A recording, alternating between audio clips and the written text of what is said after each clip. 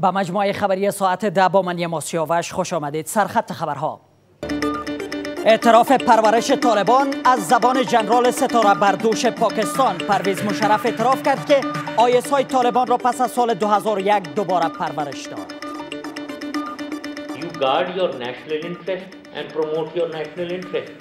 If there is any threat coming to the country, the ISI is meant to. آتش طالبان بر خانه های مردمان. طالبان با حمله بر بخش های از ولایت سرپل بیش از 20 خانه را به آتش کشیدند. بدبختانه یک منطقی که دروازه ورودی سرپل بود به نام بلغلی او را تحت تصرف خود در آوردن و تعداد 20 خانه را به آتش کشیدند. کشور مصرفی با 95 درصد کسر تجارتی بر بنیاد پژوهش مرکز ملی پژوهش و پلیسی نبود سیاست روشن اقتصادی سبب رکود صنایع نوپای کشور شده است. سیاست تعویض واردات که در این طور حالت برای کشور ما افغانستان 100 درصد ای ضروری است. و رکورد شکنی طولانی ترین رقص جهان در روز عاشقان.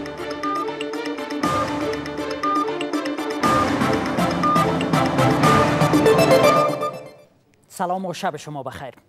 پرویز مشرف اعتراف کرد که آیس های پاکستان طالبان را پس از سال 2001 دوباره پرورش داد تا حکومت افغانستان را تضعیف کند.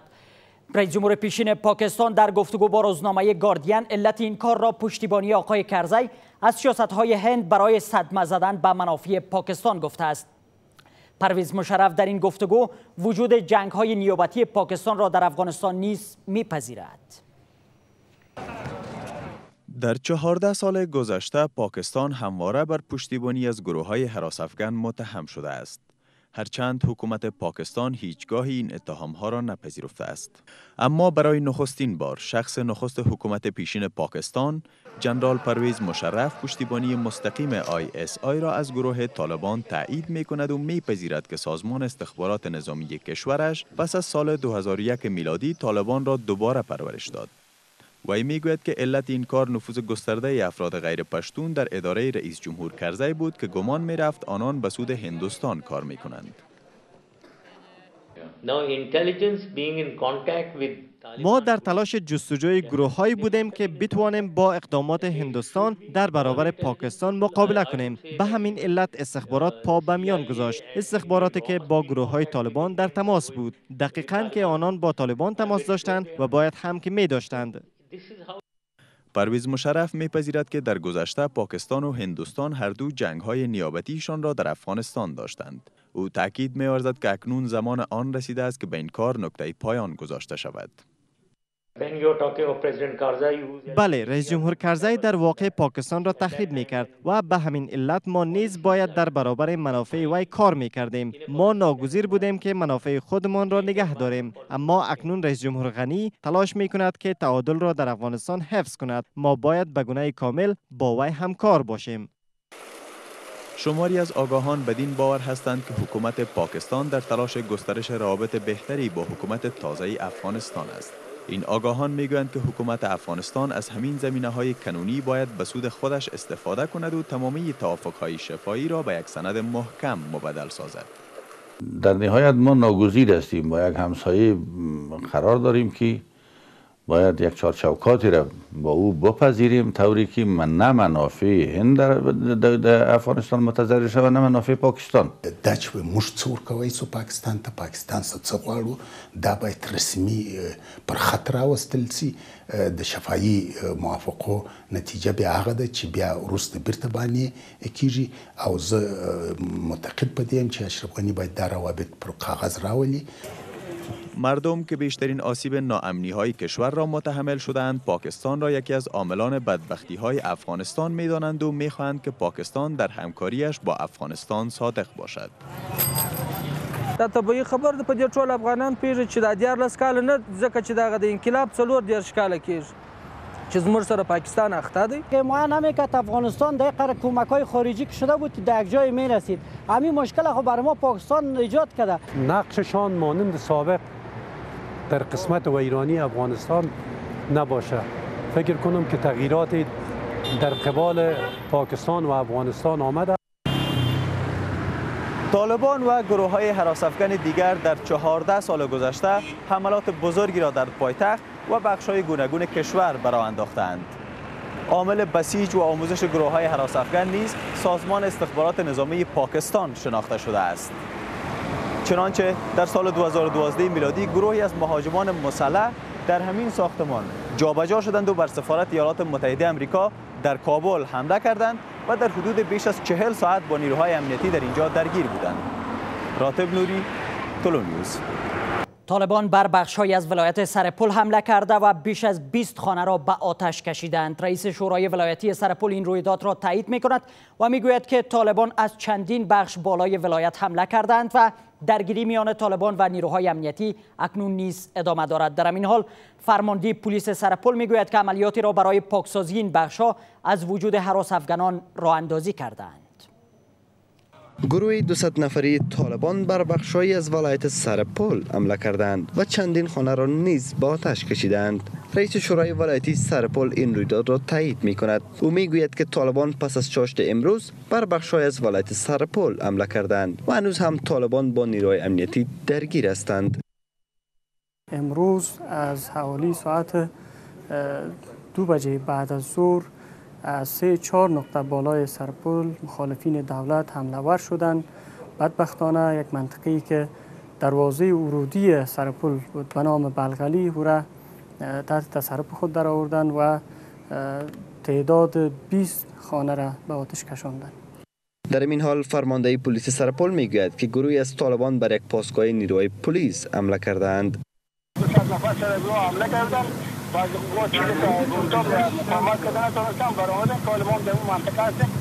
فرمانده پلیس سرپل می‌گوید که پس از درگیری طالبان از محل فرار کردند و اکنون نیروهای امنیتی برای پاکسازی این بخشا عملیات را راه اندازی کردند محمد نور رحمانی رئیس شورای ولایتی سرپل برای بحث بیشتر اینجا در استودیو با ماست. خیلی خوش آمدین آقای رحمانی. وضعیت در حال حاضر چگونه است در ولایت سرپل؟ گزارش که شما دارین از چه قرار است؟ بسم الله الرحمن الرحیم نخست از همه سلام عرض ادب دارم به حضور شما و بیننده های عزیز تلویزیون طلو و طلو نیوز دوستا قسمی که شما در جریان هستین امروز از حوالی ساعت دوی بعد از ظهر طالبا از چندین نقطه بالای سرپل حمله ور شدند و فعلا هم در مناطق بغاوی و بلغلی جنگ با مخالفین ادامه داره حتی در مسیر شارعهای سرپل جوزجان و وضعیت امنیتی خیلی ها خراب هست.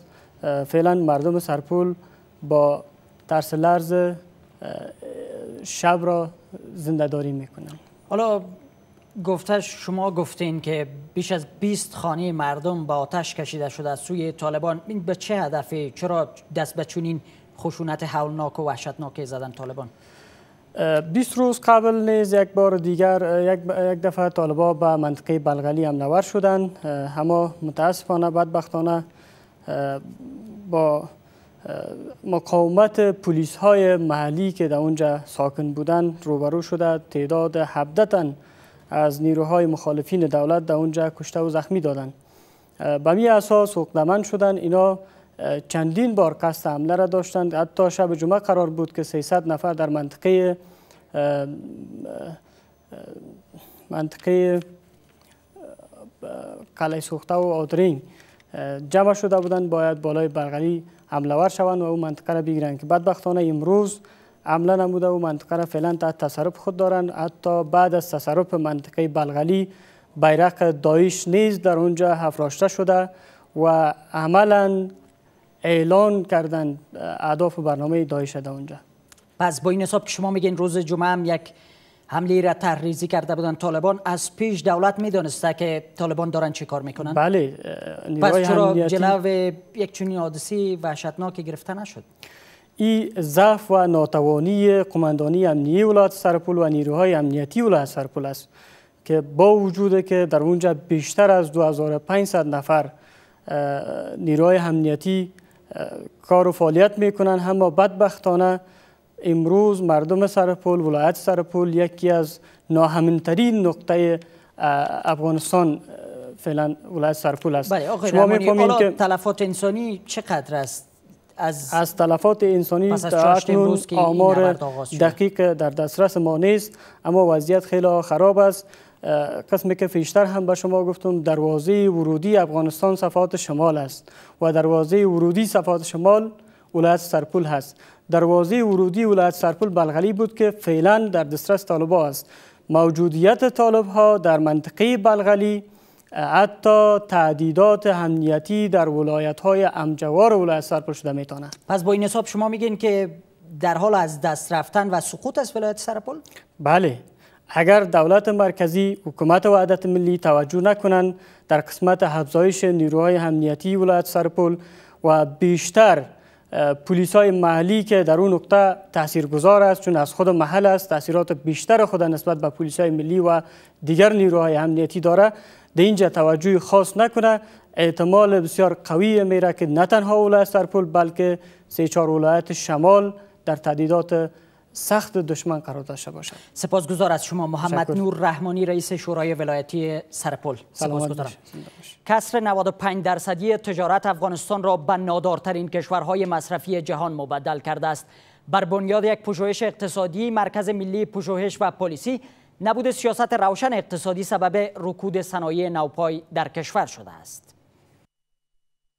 بر بنیاد پژوهش تازه مرکز ملی پژوهش و پلیسی که با کمک ارقام اداره ایسای مرکزی انجام شده است برنامه های اقتصادی 13 سال گذشته حکومت ناکارا بودند. و مشکلات در بخش اقتصادی کشور رو به افزایش هستند. بر بنیاد این پژوهش نبود سیاست بدیل واردات در کشور سبب شده است که افغانستان با پیشرفت های نسبی 13 سال در بخش تولید و صنایع کوچک اکنون هم یک کشور نادار وارداتی در جهان باقی بر بنیاد این پژوهش افغانستان به گونه میانگین سالانه به ارزش یک میلیارد و 300 میلیون دلار مواد ساختمانی که بیشتر آن را سمنت و فولاد تشکیل می دهد 100 میلیون دلار قرطاسیه 500 میلیون دلار آرد و گندم و به ارزش 52 میلیون دلار نوشابه های غیر الکلی وارد می کند در حالی که منابع مواد خامی این کالاها در داخل کشور بسیار زیاد است. و اگر زمینه تولید در داخل کشور فراهم شود گذشته از کاهش 15 درصد کسر بیلانس تجارت سالانه تا 3.5 میلیارد دلار در چرخه اقتصاد کشور افزوده خواهند شد. وقتی در داخل کشور تولید میشه می‌بینیم که تولید ناخالص داخلی بالا میره عواید دولت بالا میره و در پهلوی ازی با در نظر داشت ارقام بیکاری بیکاری بعد صفر تقرب خواهد کرد. بیکاری مطلق البته. یعنی ای از اگر این طور یک استراتژی جور شود و قدم به قدم سیاست تعویض واردات که در این طور حالت برای کشور ما افغانستان 100 درصد ای ضروری است. در همین حال مسئولان اتاقهای تجارت و صنایع با توجه به سیاست های نادرست اقتصادی کشورهای همسایه می‌گویند که در حال حاضر بازارهای کشور منبع بزرگ درآمدها برای کشورهای همسایه به ویژه پاکستان شده است. سالانه به مقدار 7.7 میلیون و 7.20 میلیون تن واردات سمنت به افغانستان باشه که از جمله 3.7 میلیون تن از کشور پاکستان به افغانستان وارد است. از سوی هم در کنار وجود سیاست های بدیل واردات در کشور حمایت از صنایع کوچک و میانه در کشور از بخش های دیگری که می تواند افغانستان را در کوتاه مدت به خود بسندگی در بخش تولید نزدیک سازد. در این پژوهش نبود برنامه های واضح اقتصادی در سالهای گذشته از علت های رکود صنایع و زمین سازی به سیاست های دمپینگ کشورهای همسایه در کشور گفته شدند وظیفه معاون مالی و تکنیکی وزارت دفاع ملی را با پنج تن دیگر از کارمندان ارشد این وزارت به حالت تعلیق درآمده است. رئیس جمهور غنی با صدور فرمان وظایف معاون وزارت دفاع مشاور اقتصادی رئیس خریداری و رئیس لوجستیکی این وزارت را به حالت تعلیق درآورده است. به ادامه دستگیری سخنگوی گروه داعش در افغانستان سه سخنگوی گروه طالبان در ولایت میدان وردک بازداشت شدند. وزارت داخله می‌گوید که از نزد این افراد یک کامپیوتر لپتاپ حاوی پیام ها و ویدیوهای طالبان به دست آمده و این افراد در جذب نیرو برای طالبان کار می‌کردند.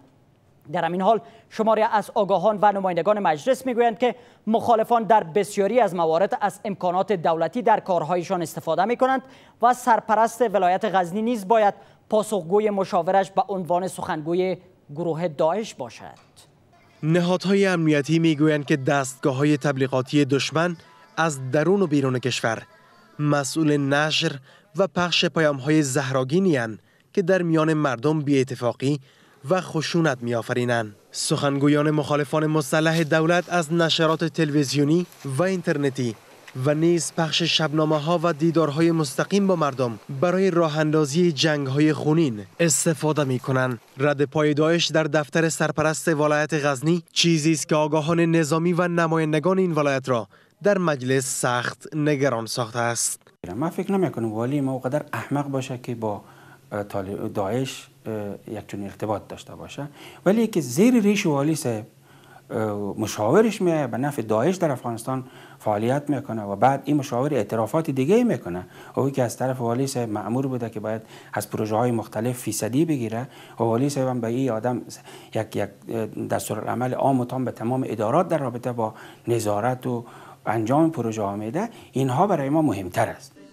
آگاهان می‌گویند که عبدالقادر واحدی مشهور به ابو ابراهیم خراسانی سخنگوی داعش در افغانستان که اکنون در بند امنیت ملی است در هماهنگی با سرپرست ولایت غزنی در ناامنی ها و اختلاس ها در این ولایت دست داشته است چیزی که سرپرست این ولایت آن را نادرست می داند.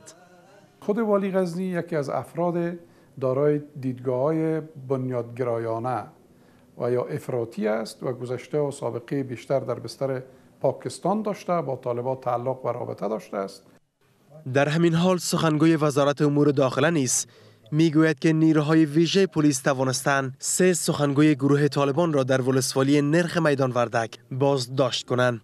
از نزد این افراد لپتاپ و تجهیزات دیگه که در اختیار داشتن و استفاده می‌کردن به دست پلیس افتیدن حدود 24 ساعت می شود که این افراد از فعالیت های تبلیغاتی بر ضد حکومت به دور ماندن تا لحظات دیگر. خودکشی 200 نهنگ در جزیره نیوزیلند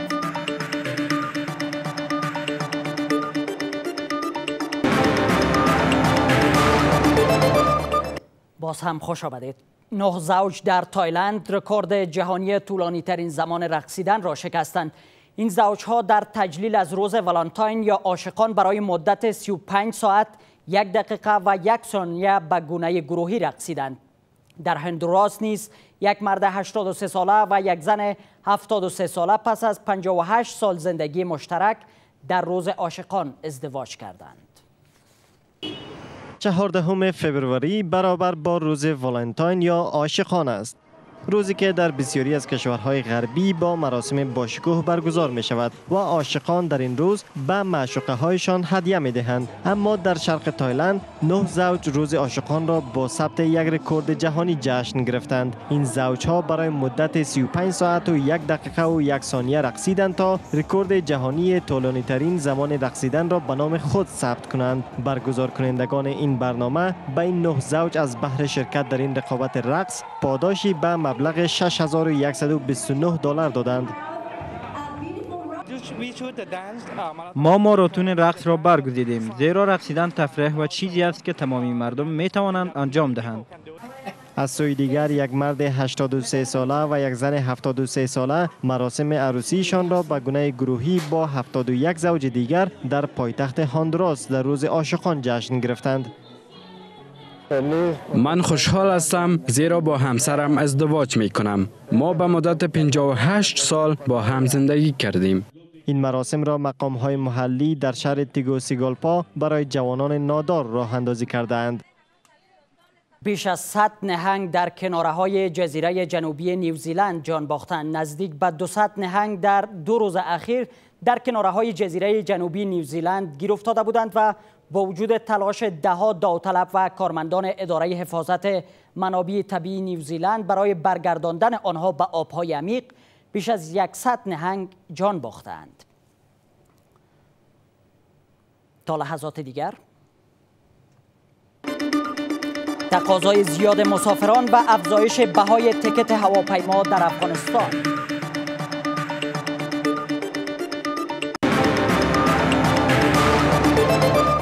باز هم خوش آمدید و شماری از شرکت های هوانوردی بر بنیاد افزایش تقاضای مسافران بهای تکت هایشان را افزایش می دهند مسئولان شماری از شرکت های هوانوردی می‌گویند که آنان برای به دست آوردن هزینه هایشان مجبورند تا قیمت تکت هایشان را با توجه به تقاضای زیاد مسافران افزایش دهند.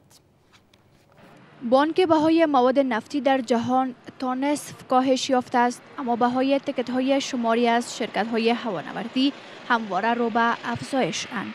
در این حال مسئولان شماری از شرکت های هوانوردی می‌گویند که با توجه به تقاضای مسافران برای عرضه خدمات هوانوردی بهای تکت ها را افزایش می دهند. سیستم تکت فروشی که فعلا ما داریم یک سیستم محزن خود مختار هست بر اساس عرضه و طلب قیمت ها را خود سیستم می سنجه اگر طلب زیاد شد قیمت تکت بالا میره اگر طلب کم شود قیمت تکت پایین میایه قبلا شرکت های هوایی از پرداخت چارجای میادین هوایی بر یک مدت معاف بود. اما دوباره اخذ چارجای هوانوردی ملکی دوباره شروع شده. اما مسئولان اداره مستقل هوانوردی با رد افزایش بهای تکت ها میگویند که این اداره همیشه بر کارکرد شرکت های هوانوردی نظارت دارد. تا آنان خودسرانه بهای تکت ها را افزایش ندهند. موارد که سوال کیږي چې ټیکټونه ګران شوي دي او د تیل قیمت راکښته شوی دی موږ پر ټول هوایي شرکتونو باندې نظارت لرو. که هم قانون اساسي ویل دي چې بازار آزاد دی مګر هغه دا معنا نه لري چې یو هوایي شرکت پر څومره باندې وغواړي خپل ټیکټ لوړ خرڅ کړي. در حال حاضر قیمت تکت رفت و برگشت دهلی 500 دلار ترکیه 500 دلار دبی 300 دلار جده 500 دلار می باشد. شماری از مسافران با شکایت از افزایش بهای تکت های شماری از شرکت های هوانوردی می گویند که حکومت باید برای حل مشکلاتشان اقدام کند. و نگاه دیگر به چند خبر. پرویز مشرف اعتراف کرد که سازمان آیسای طالبان را پس از سال 2001 دوباره پرورش داد تا حکومت افغانستان را تضعیف کند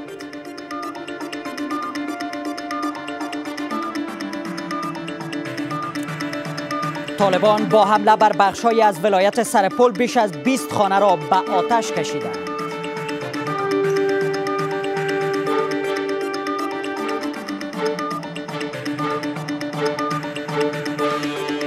و نه زوج تایلندی در تجلیل از روز والانتاین یا عاشقان رکورد طولانی ترین رقص جهان را شکستند.